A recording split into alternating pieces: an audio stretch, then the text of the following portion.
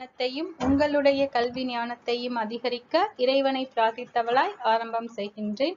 Hello students welcome to ஃபாத்திமேக்ஸ் நம்ம similar triangles வடிவத்த முக்கோணங்களுடைய வடிவியல் எப்படி வரைகிறதுன்னு சொல்லி பார்த்துட்டு இருந்திருக்கோம்.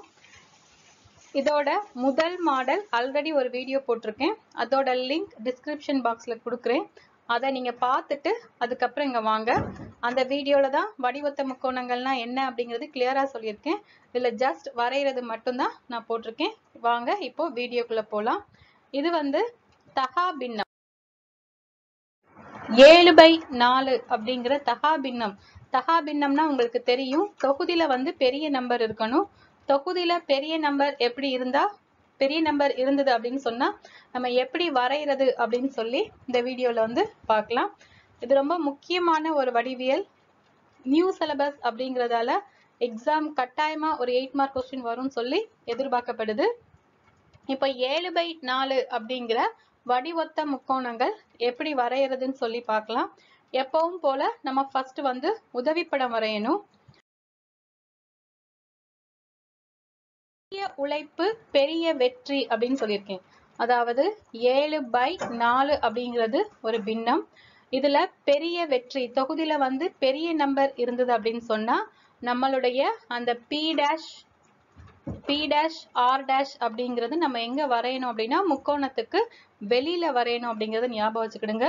சிறிய உழைப்புங்கிறத பத்தி இதுக்கு முன்னாடி உள்ள வீடியோல போட்டுட்டேன் இப்போ தொகுதியில பெரிய நம்பர் எப்படி இருந்ததுன்னா எப்படி வரையலாம் அப்படிங்கறது இங்க பார்க்கலாம்.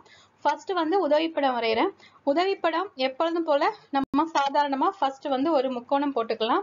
இந்த முக்கோணத்துல இந்த மூணாவது பக்கத்துக்கு இந்த பக்கத்து இந்த பக்கத்துக்கு இணையா வந்து என்ன செய்யணும் அப்படின்னா ஒரு கோடு வரையணும். இதுல எந்த தொகுதியில பெருசா இருந்தாலும் சரி சிறுசா இருந்தாலும் சரி ஃபர்ஸ்ட் முக்கோணம் இப்படிதான் போடணும். இப்போ இங்க தொகுதியில வந்து பெரிய நம்பர் இருக்கிறதால இந்த பி டேஷ் ஆர் டேஷ் வந்து வெளியில வரையணும். அப்போ அந்த வெளியில உள்ள இந்த பக்கத்துக்கு நான் பி டேஷ் ஆர் டேஷ் அப்படின்னு சொல்லி நான் குறிச்சுக்கிறேன். உள்ள உள்ள முக்கோணத்துல வந்து எப்பொழுதும் போல என்ன முக்கோணம் அப்படிங்கிறன்னா பி கியூ ஆர் அப்படிங்கிற முக்கோணம் வரைகிறோம் இதுதான் நம்மளுடைய உதவிப்படம். இப்போ உதவிப்படம் வரைஞ்சாச்சு. மெயின் பிக்சர் எப்படி வரையலாம்னு சொல்லி பார்க்கலாம். இந்த இடத்துல நீங்க பாத்தீங்க அப்படின்னு சொன்னோம் அப்படின்னா நம்மளுக்கு வந்து உம் தொகுதியில சின்ன நம்பர் இருந்தா ஒரு மாடல்ல வரைய வேண்டியது இருக்கு. தொகுதியில பெரிய நம்பர் இருந்தா ஒரு மாடல்ல வரைய வேண்டியது இருக்கு. அப்படிதான் வரையணும். அதான் ப்ராப்பரா வரையணும். கஷ்டமா இருக்கு அப்படின்னு ஃபீல் பண்ற ஸ்டூடெண்ட்ஸுக்கு மட்டும் நெக்ஸ்ட் நான் வந்து எப்படி ஈஸியா வரைகிறது அப்படிங்கறது ஒரு வீடியோ போடுறேன். இப்போ வந்து ப்ராப்பரா எப்படி வரையலாம் அப்படிங்கிற வீடியோ வந்து நம்ம பார்க்கலாம். ஃபர்ஸ்ட் வந்து பிக்யூஆர் அப்படிங்கிற முக்கோணம் வரைய போறேன். நம்மளுடைய கணக்கு என்னது அப்படின்னு சொன்னா ஏழு பை நாலு. முதல்ல முக்கோணம் வரைகிறதுக்கு எந்தவித அளவும் நம்மளுக்கு தேவையில்லை. பட் நான் நாலு சென்டிமீட்டர் அளவுல என்ன செய்ய போறேன் அப்படின்னா ஒரு சமபக்க முக்கோணம் செய்ய போறேன். ஃபர்ஸ்ட் வந்து நம்ம என்ன பண்றோம் அப்படின்னா ஒரு புள்ளி குறிச்சுக்கிறேன் நெக்ஸ்ட் நாலு சென்டிமீட்டர் அளவுல இன்னொரு புள்ளி பி அப்படின்னு சொல்லி ஆர் அப்படின்னு சொல்லி குறிச்சுக்கிட்டு இந்த கியூஆர் அப்படிங்கிறத இணைக்கிறேன். நாலு சென்டிமீட்டர் அளவுல சமபக்க முக்கோணம் அப்படிங்கிறதால கியூவை மையமா வச்சு நாலு சென்டிமீட்டர் ஆரம் உள்ள ஒரு வில் வரைகிறேன். அந்த அளவை மாத்தாம ஆறுல வச்சு இந்த வில்ல வெட்டுற மாதிரி இன்னொரு வில்லு வரைகிறேன். இந்த ரெண்டு வில்லும் வெட்டக்கூடிய புள்ளிகளுக்கு வந்து நான் என்ன பேர் கொடுக்குறேன் அப்படின்னு சொல்லி பார்த்தோம்னா பி அப்படிங்கிற பேர் கொடுக்குறேன். இப்போ வந்து பிக்யூவையும் பிஆரையும் நான் இணைச்சுக்கிறேன். இந்த முக்கோணம் வந்து நாலு சென்டிமீட்டர் அளவு இருக்கக்கூடிய ஒரு சமபக்க முக்கோணம். இப்போ எப்பவும் போல் கியூவில் கீழே வச்சு ஏதாவது ஒரு அளவில் ஸ்ட்ரைட்டாக வந்து ஒரு லைன் வரைஞ்சிருக்கேன். இப்போ ஏழு பை நாலு அப்படிங்கிறத நம்ம பின்னம் வந்து என்ன பின்னம் அப்படின்னா ஏழு பை நாலு. ஸோ ஏழு விற்கள் வெட்டணும். கியூவில் வச்சு முதல்ல ஒரு வில்லு வெட்டுறேன். அந்த வில்லும் கோடும் சந்திக்கக்கூடிய புள்ளி வந்து கியூ ஒன் அப்படின்னு சொல்லி கொடுக்குறேன். அந்த அளவை மாற்றாமல் எதில் வச்சு வெட்டணும் அப்படின்னா கியூ ஒனில் வச்சு இன்னொரு வில்லு வெட்டுறேன். ரெண்டாவது வில்லுக்கு பேர் வந்து கியூ டூ. இதே மாதிரி ஒரே அளவான ஏழு விற்கள் வந்து இந்த கோட்ல வரையணும். ஃபர்ஸ்ட் கியூ ஒன் வரைஞ்சிருக்கோம். கியூ டூ வரைஞ்சிருக்கேன். இப்போ அதே அளவை மாத்தாம கியூ த்ரீ வரைகிறேன் இதை மாதிரி Q four Q five Q six Q seven அப்படிங்கிற ஏழு விற்கள் வந்து நம்ம என்ன செய்யணும் அப்படின்னா நம்ம வரையணும். Q one Q two Q three வந்தாச்சு. அதே மாதிரி நாலாவது வில்லு வெட்டி அதுக்கு பேர் வந்து கியூ ஃபோர் அப்படின்னு சொல்லி கொடுத்துருக்கேன்.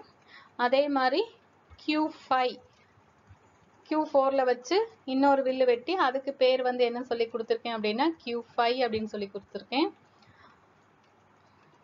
அடுத்து வந்து கியூ சிக்ஸ்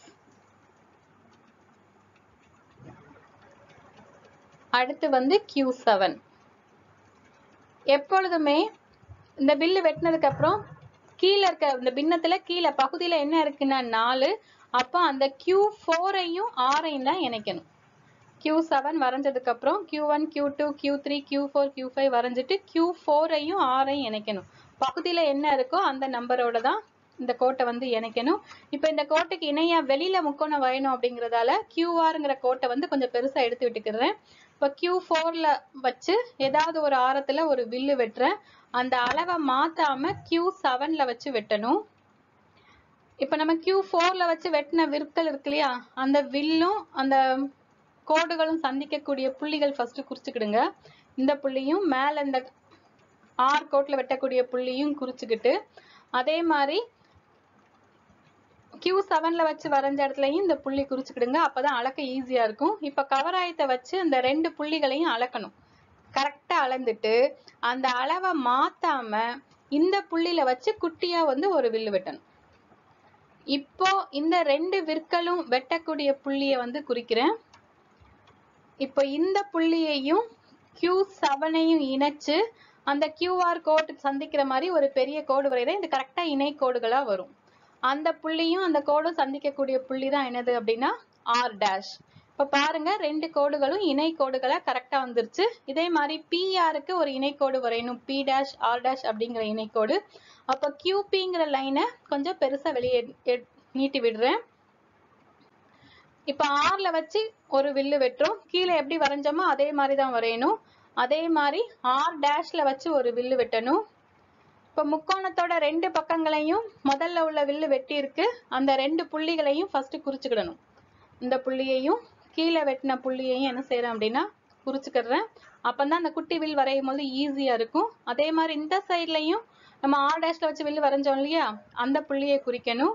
இப்ப முதல்ல இருக்கக்கூடிய அந்த ரெண்டு வில்லையும் கவராயத்தை பயன்படுத்தி அளவெடுக்கணும். அந்த அளவை மாத்தாம இந்த வில்லுல வச்சு என்ன செய்யணும் அப்படின்னா ஒரு குட்டி வில் வெட்டணும். இப்போ இந்த ரெண்டு விற்களும் சந்திக்கக்கூடிய புள்ளியை வந்து குறிக்கிறேன். ஆர் டேஷையும் இந்த புள்ளியையும் இணைச்சு கியூபி அப்படிங்கிற கோட்டை சந்திக்கிற மாதிரி பெருசா ஒரு கோடு வரையணும். இப்போ அந்த கோடும் இந்த கோடும் சந்திக்கக்கூடிய புள்ளிக்கு வந்து பி டேஷ் அப்படிங்கிற பேரு. இதுதான் நம்மளுடைய முக்கோணம். வடிவத்த முக்கோணங்கள். P dash Q R dash அப்படிங்கிற ஏழு பங்குள்ள முக்கோணமும் பி கியூ ஆர் அப்படிங்கிற நான்கு பங்குள்ள முக்கோணமும் நம்மளுக்கு என்ன செஞ்சிருக்கு அப்படின்னு சொன்னா ஈஸியா கிடைச்சிருக்கு. ஈஸியா வரைஞ்சிட்டோம்னு நினைக்கிறேன். உங்களுக்கு ரொம்ப பிடிச்சிருக்குன்னு நினைக்கிறேன். இந்த வீடியோல எப்படி ரொம்ப ஈஸியா வரைகிறது அப்படிங்கறத நெக்ஸ்ட் வீடியோல பார்க்கலாம். இன்ஷால்லா வெயிட் பண்ணுங்க. By by students